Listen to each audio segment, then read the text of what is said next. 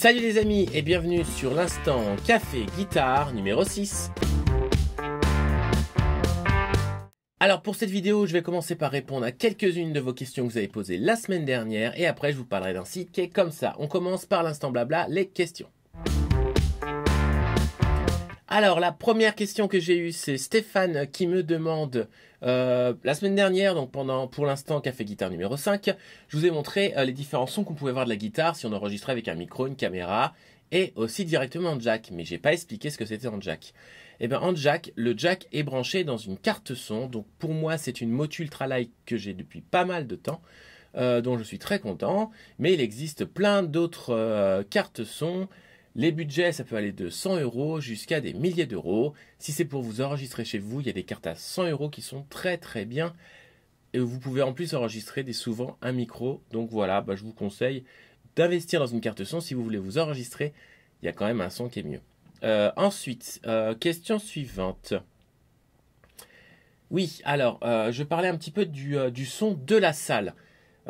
Muriel me demande si je dois mettre des mousses partout dans la salle pour avoir un bon son. Non. Euh, vous avez dû remarquer que ma voix n'est pas encore de retour. Pardon. Alors, j'explique.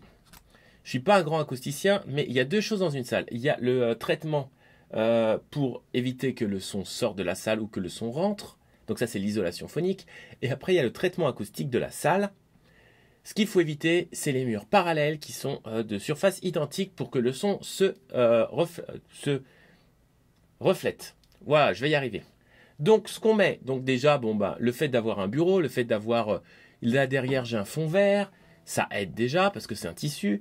Après, moi, ce que j'ai mis dès qu'il y avait des surfaces identiques, je vous montre. Alors, j'ai deux types de mousse.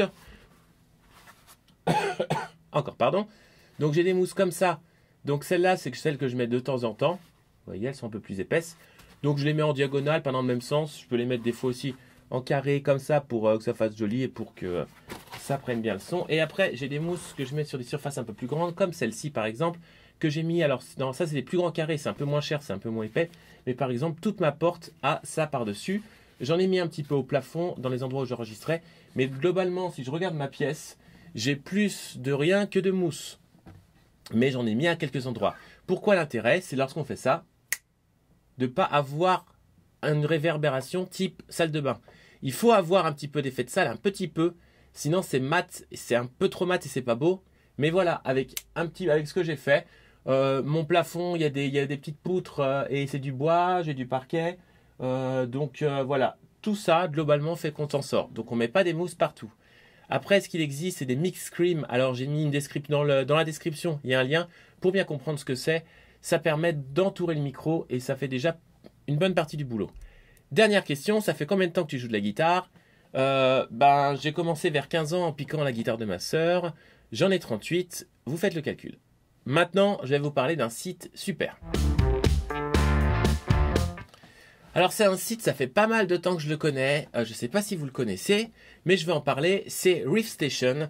Alors c'est un site qui est français. Euh, et en gros, c'est un truc de ouf quand même. Et je vais vous montrer ce que c'est. Donc, on est parti euh, sur l'écran pour euh, découvrir le site. Donc voilà, donc pour y aller c'est play.riffstation.com et en gros, donc on va on va taper un titre. Donc euh, un truc qui passe beaucoup en ce moment à la radio. Entre ma déconne, il n'y a pas d'espace. Voilà. Parfait. Donc, en gros, ça va extraire d'une vidéo YouTube euh, les accords d'une chanson et ça va vous mettre directement la tablature. Donc même pas besoin de chercher les accords, ça va vous les mettre. Lorsqu'il y a play direct ici, c'est qu'il y a quelqu'un qui s'est déjà embêté à, activer le, euh, le, processus. Et lorsqu'il y a marqué get chord, lorsqu'on est inscrit, donc il faut juste euh, s'inscrire, et eh ben il y a un petit processus qui va, qui va calculer tout ça. Je vous montrerai ça après. Je vous montre sur la chanson comment ça fonctionne? Donc je mets en route la vidéo YouTube et en dessous, à ce niveau-là, on a les accords qui s'affichent. Et après, il suffit de les jouer.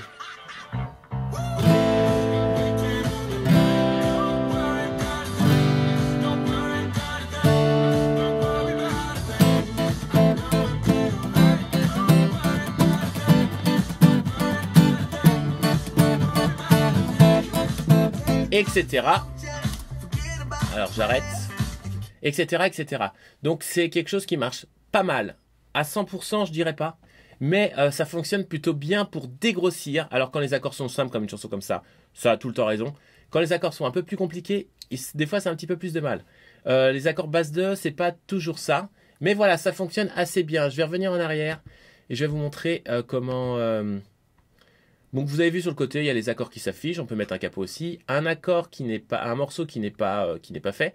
Donc je clique sur Get Chord et après bah ça calcule tout simplement et après bah ça sera dispo pour tout le monde. Donc en gros, pour pouvoir avoir une vidéo disponible, eh ben il suffit de euh, que quelqu'un ait au moins une fois fait ce que j'ai fait là pour euh, pouvoir avoir les accords. Lorsqu'on n'est pas inscrit, on a accès à tout ce qui est déjà calculé mais on ne peut pas calculer une nouvelle vidéo. Donc voilà, je vous invite à utiliser euh, Riff Station. Un jour, je vous montrerai aussi l'application, parce qu'il y a une application qui permet de faire la même chose, mais en plus qui permet d'accélérer, ralentir le morceau, euh, extraire, euh, enlever la guitare du morceau. Enfin bref, je vous montrerai tout ça. Voilà, et eh ben j'ai dit tout ce que j'avais à dire. N'hésitez pas à me lâcher des commentaires dans en dessous de cette vidéo. et surtout, je vais vous poser une petite question pour la prochaine fois. Eh ben parlez-moi de votre artiste préféré. Euh, donnez-moi les noms de vraiment qui vous préférez. Et euh, bah, je verrai pour en parler à la prochaine vidéo. Et bah écoutez, bonne semaine à tous. Ciao